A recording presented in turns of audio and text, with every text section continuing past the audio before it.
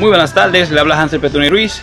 Eh, hemos completado todas las fases finales de las investigaciones que hicimos en República Dominicana y en Italia en cuanto a la muerte de Toniato Severino, el italiano que fue asesinado en las terrenas.